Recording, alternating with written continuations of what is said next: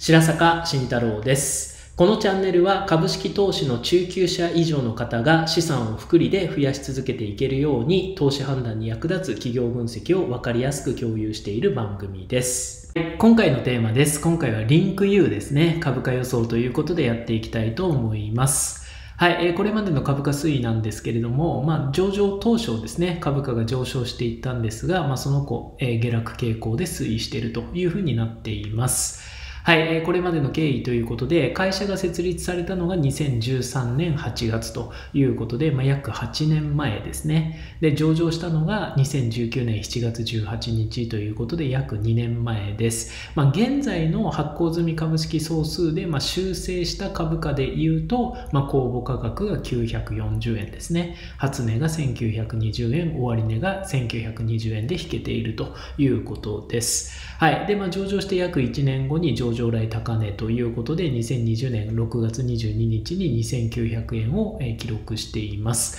はい。そして、まあ、上場来安値ということで、まあ、今年2021年5月17日に987円というのを記録しているということですね。なので、まあ、上場して最初、1.5倍になったんですけれども、まあ、その後1年間で、まあ、3分の1に下落しているという経緯です。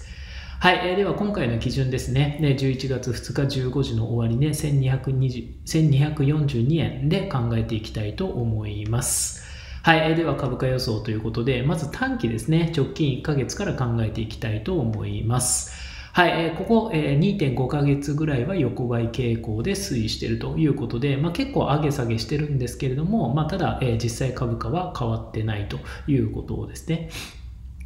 はい。よって、ま今後も1150円から1350円の間で、ま横ばいが続く可能性が高いというふうに見ています。はい。えでは、長期ですね。6ヶ月以降ではどうなのかということで、まあ、長期を考える上でですね、改めてリンク U という企業についての学びを深めていきたいと思います。はい、リンク U ということで特色独自サーバーでコンテンツ配信を展開。漫画アプリに強み NFT 非代替性トークン事業もということで、まあ、一番端的に分かりやすく言うならば、まあ、電子書籍配信の会社ということですね、まあ、実際、え表面上の売上とか利益っていうのは、ま、電子書籍配信で上がってるということです。はい、えーということで、まあ、電子書籍の配信ということで、まあ、例えば小学館だとか、集英社だとかですね、まあ、そういった出版社さんが持っている、まあ、作品、漫画コンテンツをですね、実際電子書籍という形で、配信していると、まあ、電子書籍のアプリですよね、えーという形で、配信している企業ということになります。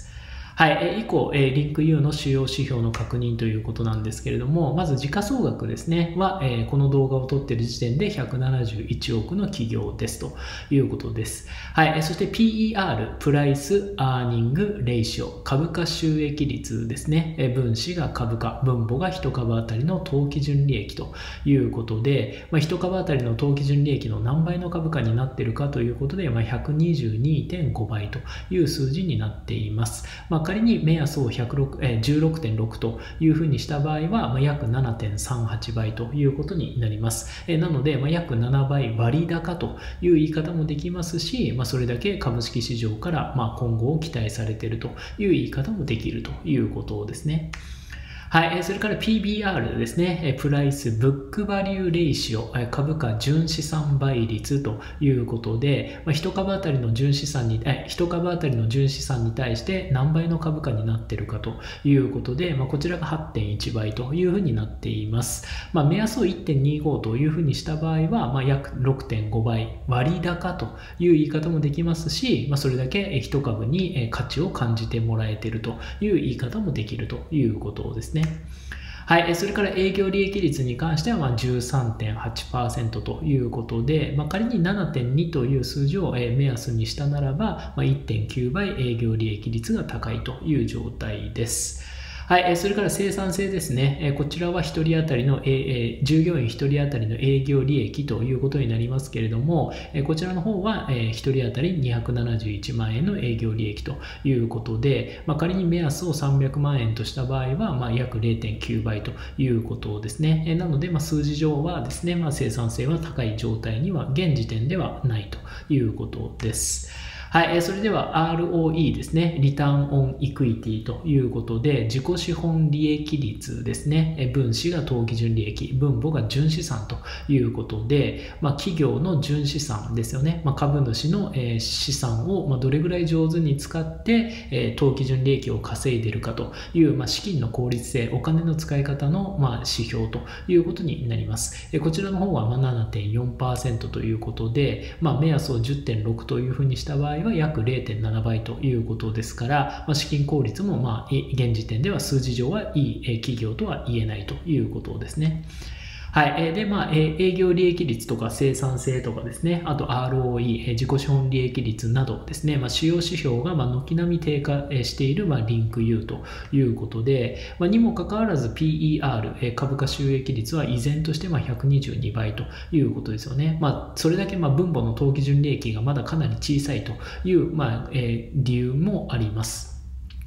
で、まあ、果たしてですね、株式市場のリンク U への期待っていうのは、ま妥当なのかということですよね。まあ、え分母の当期純利益がかなり小さいとはいえ、まあ、PR122 倍って相当数字が大きいですよね。まあ、これはもう今後、え、将来未来に対しての期待という形でしか考えられないんですけれども、まあ、その、え期待っていうのは、ま妥当なのかということですね。でまあ、結論としては、ま妥当だというふうに今回は分析しています。はい。で、まあ、リンク U の今後未来に対して期待できる理由なんですけれども、まず1番ですね、まあ、利益がですね、まあ、低下してきてるんですけれども、その売上は順調に上がってるんですよね。売上は右肩上がりで上がってるんですけど、利益が下がってるということで、まあ、なので、まあ、当基準利益が小さくて PER がものすごい高い数字になってるんですけれども、まあ、その利益の低下っていうのが、まあ、外部要因によるものであるということですね。まあ、要するに、そのリンク U という企業業に対して何か大きな過失とか、まあ、失敗ミスがあったというよりは、まあ、外の環境変化によって、まあえー、利益が低下しているっていうのが一つと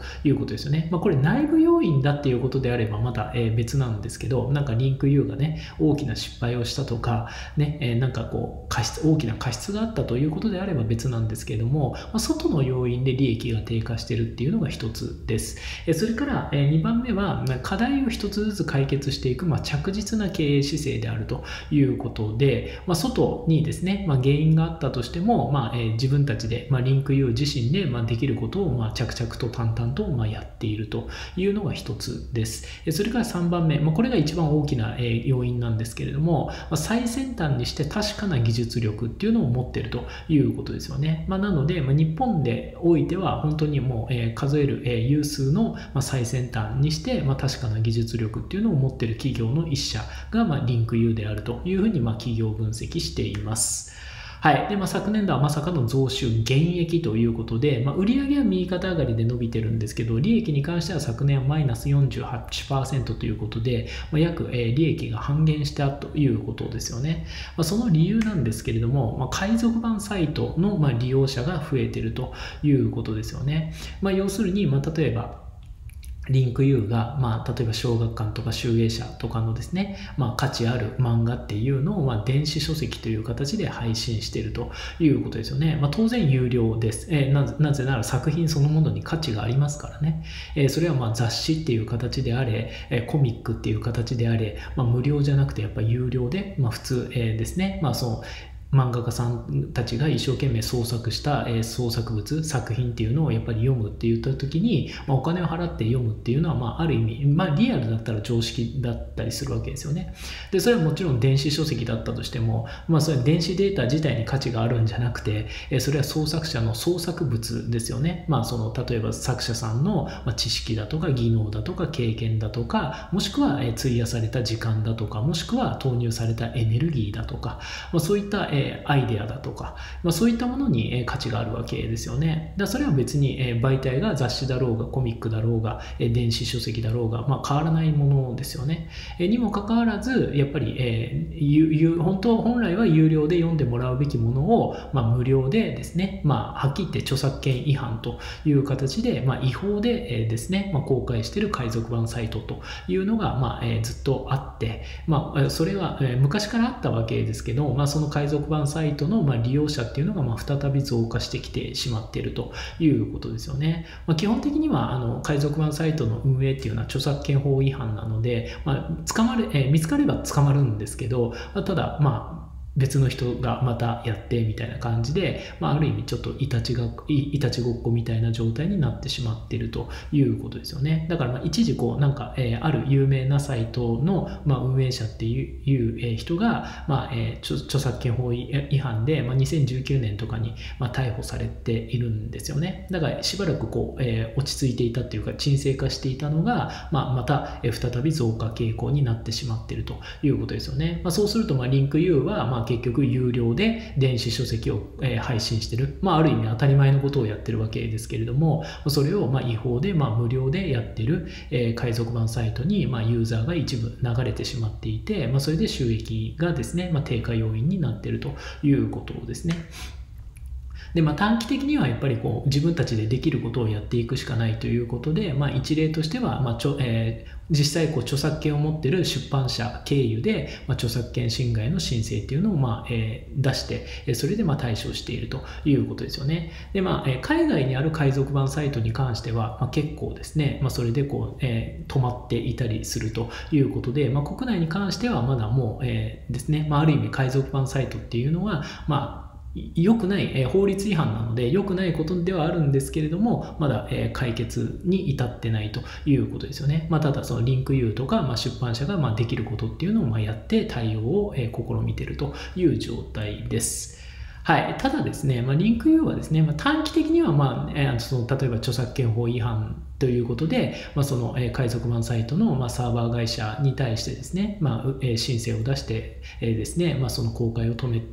させたりとか、まあ、そういった、まあ、ある意味、まあ、はっきり言ったら対処療法的な、ちょっとこう、いたちごっこ的なことを、まあ、やらざるを得ないっていう状態なんですけど、長期に関しては、まあ、リンク U は本質的な課題解決をしていくことができる技術力を持っているというふうに、まあ、考えています。えなぜならですね、まあ、リンク U は単にアプリというソフトの開発提供会社というだけではないということですよね。実際その売上とか利益っていうのは電子書籍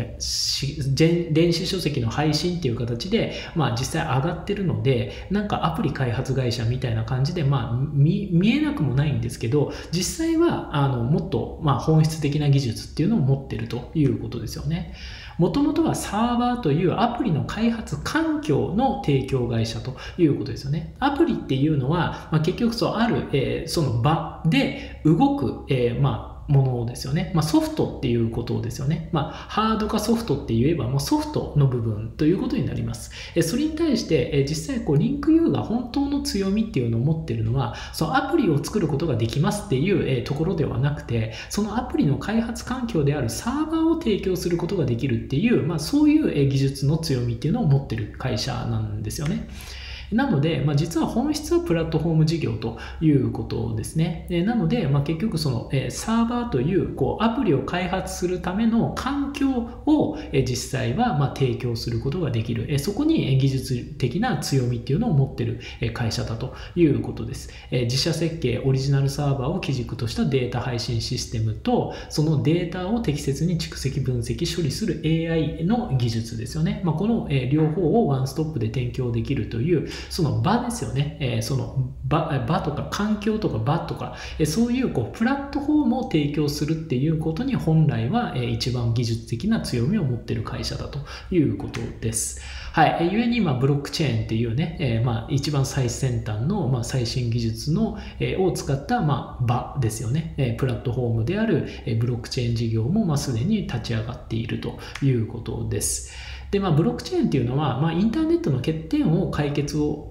を目指した技術でもあるということですよね。まあ、インターネットではやることができなかったことをブロックチェーンではやろうとしたということで、まあ、インターネットの欠点っていうのを一つ、まあ、解決することができた、えー、技術ではあるということですよね。えー、すなわちインターネットの欠点ってじゃあ何ですかっていうと、電子データが簡単に複製できるがゆえに著作権侵害っていうのをま防げないということですよね。だからなんか海賊版サイトを見つけました。えそこに対して、ね、著作権侵害を、ま、訴える。で、その相手会社の、ね、サーバーをですね、まあ、結局、え止めてもらって、まあ、非公開にしてもらう。でもまた別の人が別の海賊版サイトを立ち上げるということでいけば、まあ、ある意味対症療法になってしまうわけですよね。で、それってなんでなのかって言ったら、それもネットの特性としてデータのコピーペーストみたいな、コピペっていうか、なんか複製がとにかくめちゃくちゃ簡単にできてしまうしまうと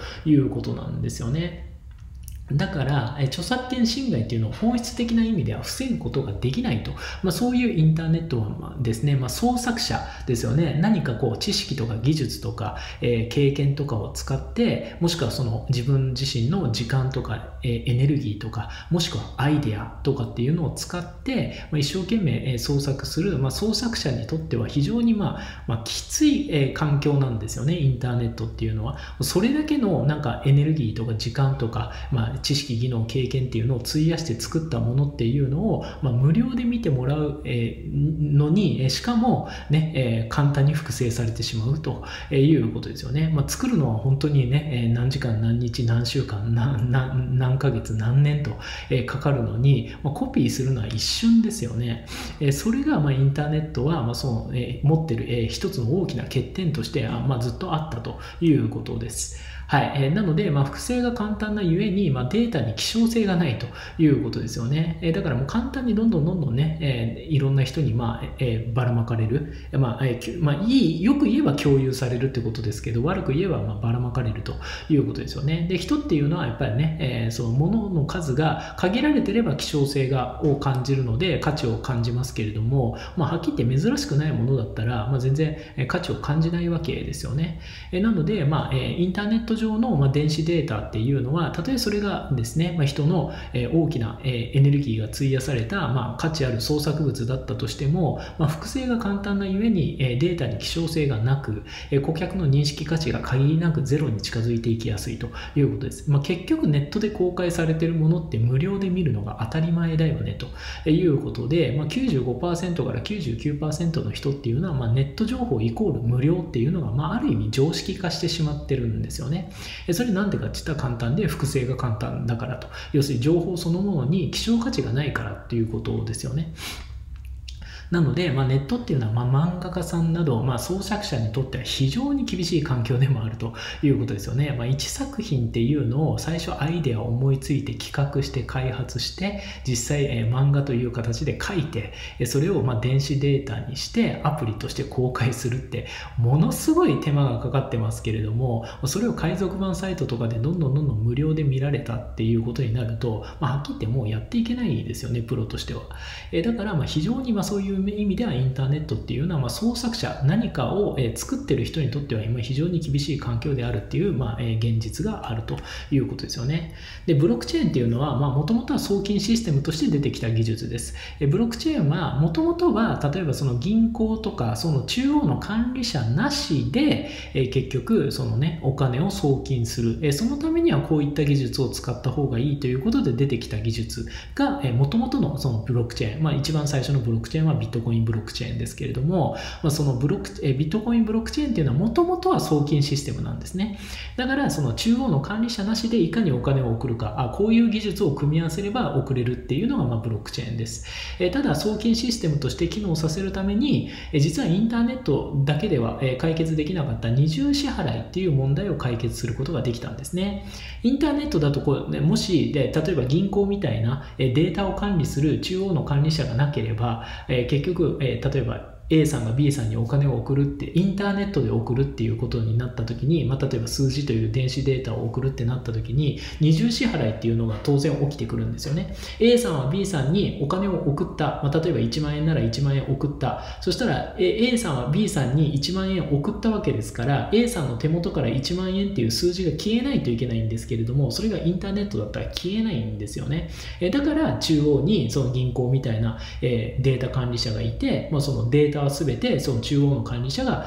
え、管理するっていうことで今までずっとやってきてたわけですよね。だネットでは解決できなかったんですけど、え、ブロックチェーンはこの二重支払いっていう問題を解決しているということです。はい、え、従来のネット送信だと、まあ、持ってるデータを不特定多数に送信した上に送信者の手元に元データが残り続けるということですよね。だから自分の手元で、え、例えばメールを1通送信する、え A さんから B さんにメールを送信する、文字データを送信する、数字データを送信する、そしたら必ず、え送信者の手元にその元データ残ってますよね。だから同じデータをいろんな人に C さん、D さん、E さんっていろんな人に送ることができる。ってことは当然お金の送金はこれじゃできないっていうことになるわけです。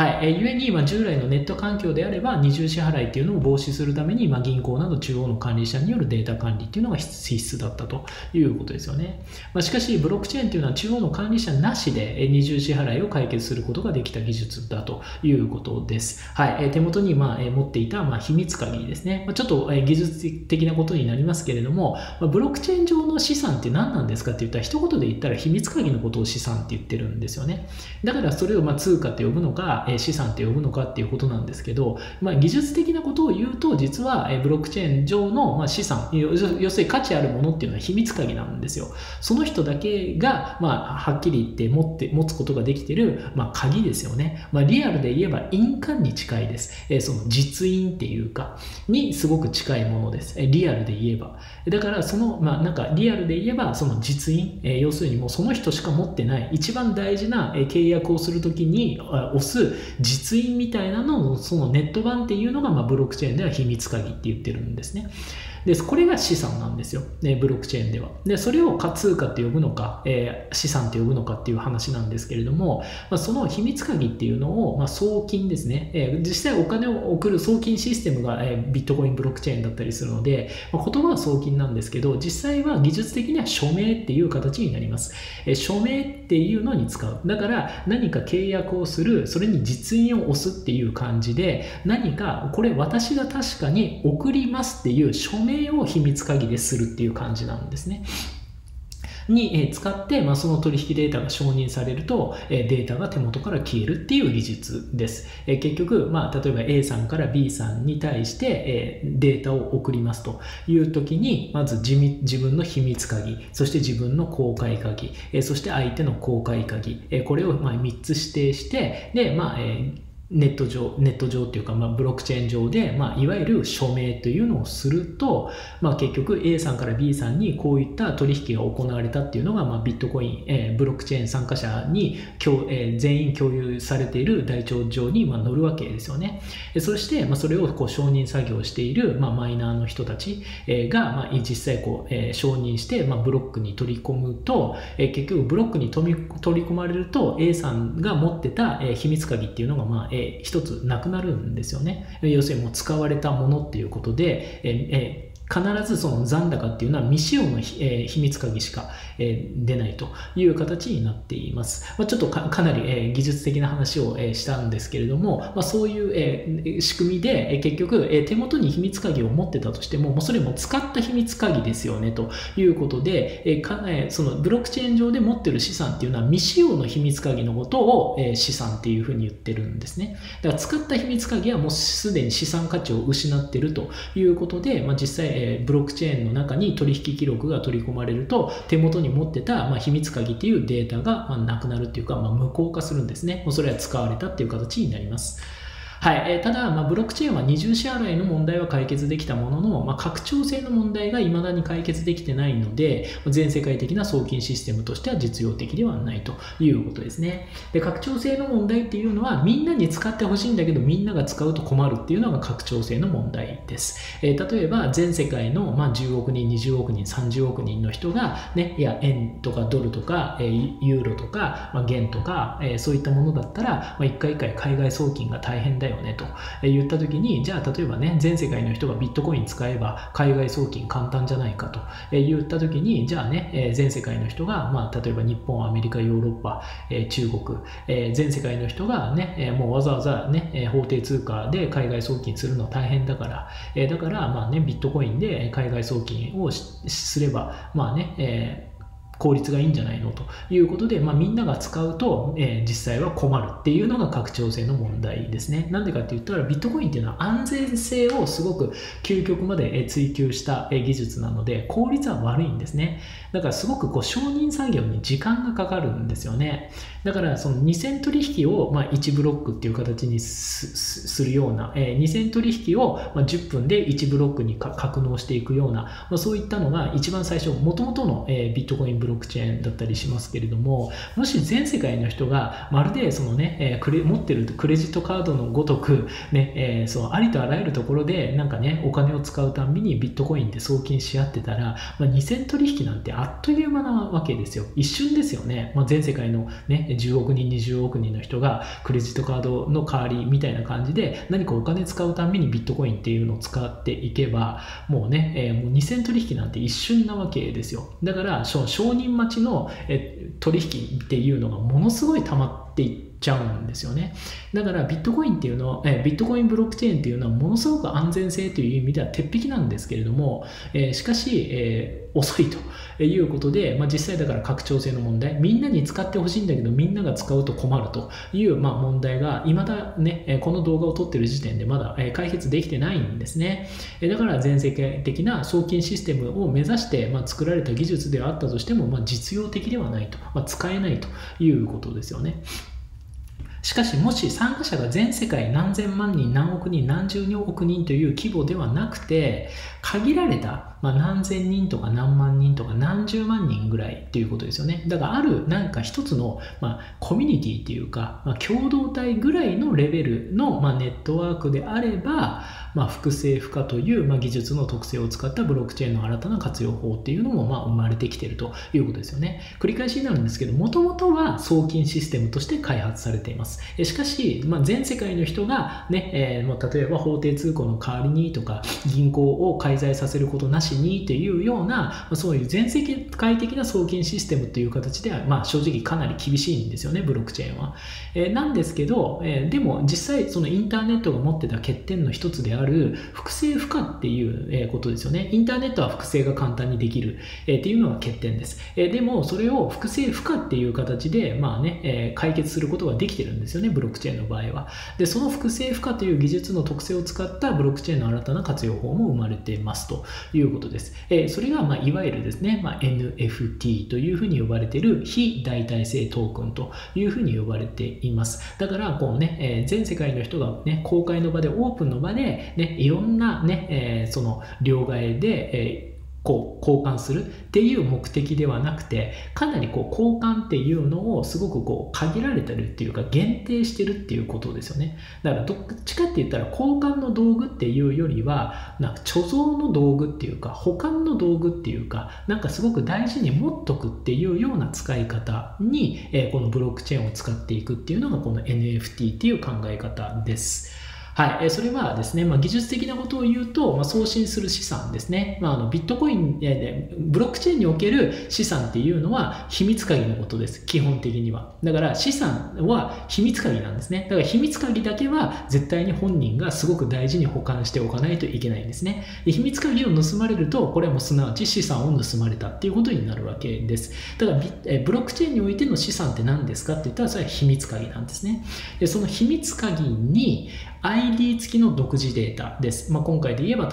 例えば一例ですけれども、漫画作品などを紐付けて、で、相手に送信するっていうことをやるわけですね。だから、秘密、秘密鍵をですね、え結局それが、まあえブロックチェーン上の資産。えその資産と一緒に、ね、え ID 付き、えだから1番とか2番とか3番みたいな感じで、独自データを、まあ、え一緒につけて、なんかこう、まあ、ちょっと、イメージ、イメージだけで言うならば、なんかメールになんか添付ファイルをつけるみたいなイメージです。これはあくまでもイメージだけの話ですけれども。でなので、まあ、メールに添付ファイルをつけるみたいな感じで、本当は価値があるのは、まあ、ブロックチェーン上では秘密鍵なんですけど、その秘密鍵と一緒に ID 付きの独自データも紐付けて相手に送信するということですよね。ですると手元にあったデータが、ま、送信の承認後に手元から消える。るということになります。要するに複製不可っていうことですよね。一回送ってしまったら、ね、その送った手元から、送信者の元からはなくなるということです。はい。まあ、例えば、まあ、今回はですね、まあ、漫画、っていうのが、一つのテーマになっていたりするんですけれども、まあ、リンク U なんで、もしリアルの漫画コミックで例えるならばですよ。で、実際はネット上の話ですけど、リアルの漫画コミックであれば、まあ、例えば初版5000部のコミックっていうのは実際にお金を支払った5000人しか手にすることでききないですよね。だからこれは当たり前の話です。リアルの漫画コミックであれば、初版5000部のコミックは実際にお金を支払った5000人しか手にすることができません。だから、お金を払った5000人しかま読めないってことです、基本的には。従来のネットであれば、ま、簡単に複製できてしまうので、わずか手元の1データで理論上無限にばらまかれてしまっていたと。ね、もちろん海賊サイトっていうのも、まあね、乱立してしまうということが起きてたということです。しかし、ま、ブロックチェーンを使えば、電子書籍という作品をまるでリアルの漫画コミック5000部だけ限定発行というようなえこともできるということです。えリアルに例えるとそういうイメージのことができるということですよね。だから、独自データがあります。それに ID をつけますと、例えば1番から5000番みたいな感じでつけて、そしてこのデータっていうのはもう5000部限定みたいな感じで、え結局、まあ、作って、そしてそれを、まあ、はっきり言ったら売るっていう感じですよね、ブロックチェーン上で。それは、まあ、リアルで言えば最初初版5000部で、なんかね、人気が出たから、まあ、追加でプラス5000部、え例えば増版しましたみたいな感じの、まあ、そういう使い方が、まあ、電子データ、電子書籍でもやっていくことが、まあ、ブロックチェーン上だったらま可能になってくるということです。はい。なので、まあ、漫画家さんなど創作者がですね、有料でも漫画を読みたいファンの方々に、まあ、ブロックチェーンを通じて発行部数限定で電子書籍を販売するということも、まあ、可能になっているということですよね。まあ、技術的にはこういう使い方っていうのも、まあ、2017年ぐらいからですね、まあ、え、特にイーサリアムプラットフォーム、え、を使って、イーサリアムブロックチェーンを使って、まあ、え、そういった使い方っていうのも、まあ、え、生まれ始めていると、まあ、つややられ始めているということですね。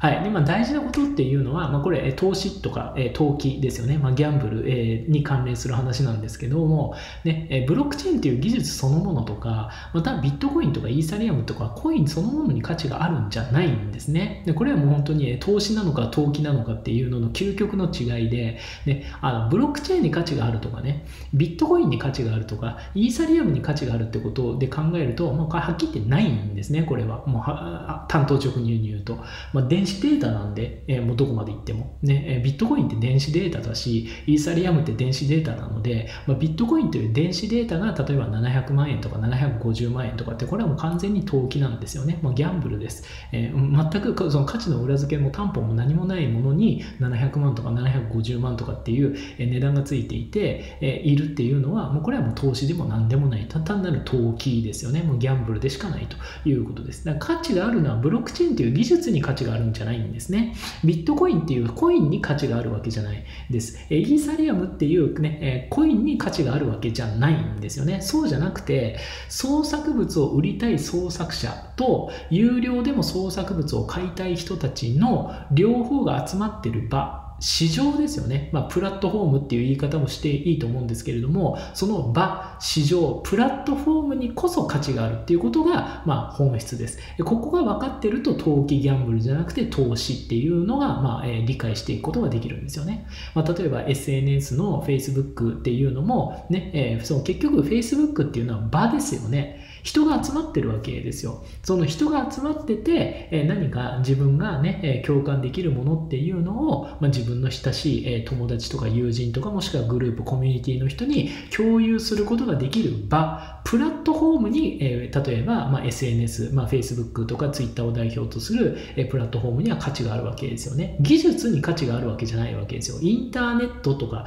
っていう技術に価値があるわけじゃなくて、そこになんか人がたくさん集まっていて、何らかの情報が共有されていたり共感が生まれていたり、えー、っていうことのその場プラットフォームに価値があるわけですよねそれはもうもちろんブロックチェーンも全く同じですなので、まあ、リンク U はですね、まあ、その合弁会社を通じて、まあ、すでに場、プラットフォームの創造っていうのをもう行っているということです。はい。えー、まあ、合弁会社はですね、まあ、出資比率50対50で、えー、出している、企業ということで、まあ、 HashPalette という、ま、合弁会社を作ってるんですね、 Link-U は。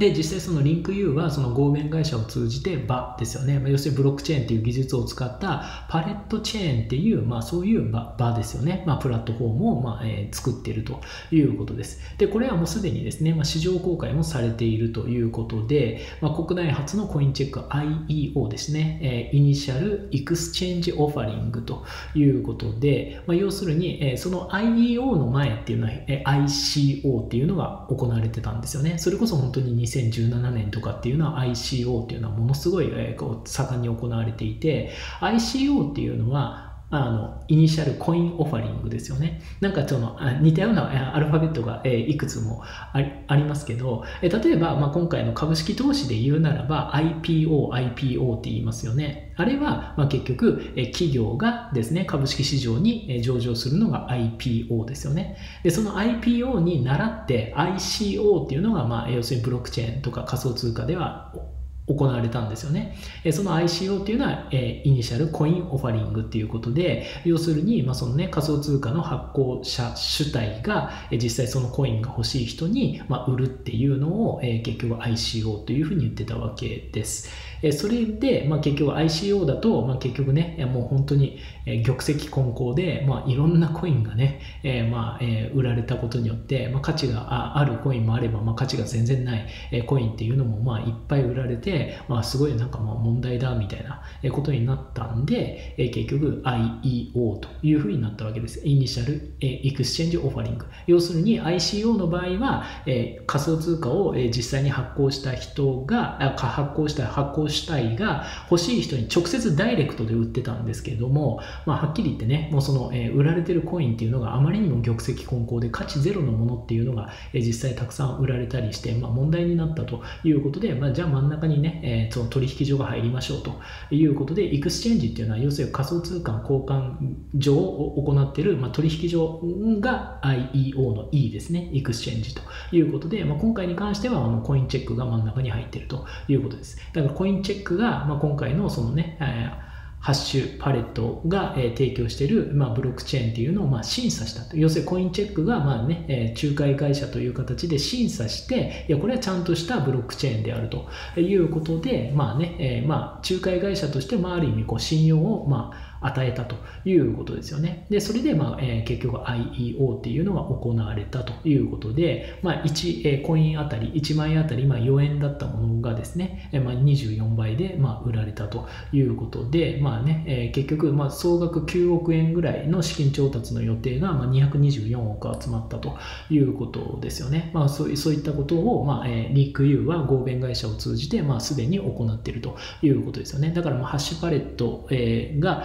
えー、っていう会社がですね、まあ、もうブロックチェーンっていうのをま公開市場でま実際もうね、運用しているということです。はい。で、まあ、リンク U は、えー、結局、まあ、3つの事業っていうのを行っているということで、まあ、漫画事業ですね。それから教育事業。まあ、この教育事業っていうのも、やっぱりスマホアプリで、まあね、えー、まあ、教育コンテンツ、ポケット語学とかっていうのを提供しているということですよね。まあ、それからブロックチェーン事業というのを、まあ、3つやっているということです。で、まあ、この3つですよね。漫画事業、教育事業、それからブロックチェーン事業っていうのは、まあ、表面上は一見バラバラですよね。でしかし、創作者と創作物を必要としてる人たちの場プラットフォームの創造という本質ではつながっているということです。要するに、まあ、提供しているコンテンツが漫画なのか教育なのか、えー、っていうのはあったとしても、まあ、結局、えー、リンク U って何の会社なのかって言ったら、表面上は電子書籍配信会社なんですけど、本質はですね、バプラットフォームの創造会社っていうのが、まあ、一番本質をついてるんじゃないかなというふうに考えています。はい。で、まあ、経営っていうのは本当に経営課題を解決し続けることですよね。まあ、例えばインターネットっていうのはね、ものすごい便利ですよね。またこの20年、2001年から2021年の20年間で、まあ、ある意味本当に社会を革新した技術、えー、ということですよね。インターネットっていうのはその人の間で、まあ、情報空間において、ね、えまあ、時間的空間的な距離っていうのをもうほとんどなくしたというところで言えば、まあ、社会的にね、えー、すごい革新した技術であったわけです。えー、でも、えー、その、え革新した技術だったとしても、やっぱり欠点があるし、やっぱり課題があったわけですよね。まあ、例えば簡単に電子データをね、え複製できてしまう、コピペできてしまう、えだから著作権なんて合ってないようなものになるみたいな。で、創作物がまあそんなに簡単にどんどんどんどんコ,、えーね、コピペ、コピペ、コピペって複製されていったら、もう誰もそんなにたくさんね、時間と労力、エネルギーかけて一生懸命ものを創作しようなんて思わないですよね。その人が本当に何日、何週間、何ヶ月、何,、えね、何年でかけて、えー、作ったものを本当に一瞬でコピペして、それが、無料でばらまかれていたら、もう頑張って創作しようって思う人出てこなくなりますよね。でそうすると社会全体の付加価値って増えていかないわけですよ。付加価値って何らか今までのあった価値にさらに加えていくわけですから。だからやっぱりインターネットはま素晴らしい技術だし実際この20年間でま社会を革新してきた破壊的な技術であったのは確かなんですけれどもでもやっぱり欠点もいっぱいあるということですよね。だからまたそのか、え新しく出てきた課題っていうのをまた解決してでもブロックチェーンも当然まだ課題があるわけですよ。え拡張性の問題っていうことで本当は送金システムとして使いたいんだけどみんなが使うとみんなが困るっていう拡張性の問題っていうのがあるわけですよね。でこうやって必ずずもうずっと、えー、解決しなければならない課題っていうのがもう半永久的にあり続けるわけですよね。で、その半永久的にあり続ける課題っていうのを半永久的に解決し続けるのが、まあ、経営という、まあ、そういう営みになるわけです。だからもう問題解決業だし、課題解決業なんですよね、経営っていうのは。ってなった時に、まあ、リンク U の理念っていうのは、まあ、世の中の課題を技術で解決するっていうのを、まあ、リンク U は理念として掲げているということです。で、まあ、リンク U はですね、まあ、そういう意味では理念に非常にこう忠実な企業だというふうに考えています。はい、よって、まあ、1年単位でのですね、まあ、海賊版の影響による減益などは、まあ、長期投資では考慮する必要はないということですよね。まあ、なんかこう、1日単位とか1週間単位とか1ヶ月単位で、まあね、えー、その、投資をやってる方にとってはすごく大事な、まあ、要因なのかもしれないですけど、ま5年、10年、20年のを考えての長期投資っていうことでいけば、まあ、今起きている、え例えば、え現役であるとか、まそういったことっていうのははっきりほとんど考える必要はないというふうに思っています。はいまあ、5年後、10年後、20年後、まあ、どこまで成長しているのかっていうだけが、まあ、投資の判断基準ということですよね。これが長期投資ということになります。で、リンク U は、ま市場から成長を期待されるだけの、ま潜在可能性を持っている企業だというふうに考えます。それだけ確かな、ま最先端にして、え確かな技術力っていうのはもう持っているというふうに思います。まあ、故に、ま長期的には株価は上昇していく可能性が高いということですね。はい。では以上、株価予想をまとめると、まあ、短期に関しては、まあ、横ばい傾向が続いていますと。まあ、結構上げ下げするんですけど、結局株価変わってないということで、まあ、今後もしばらくは横ばいが続くんではないかということですね。で、長期に関しては、まあ、課題を解決しうる最先端の、まあ、確かな技術力を持っている企業の一社だというふうに、まあ、分析しています。えなので、まあ、上昇していく可能性が高いということですね。で、故に、まあ、短期的には横ばい、長期的には上昇というふうに予想したいと思います。ます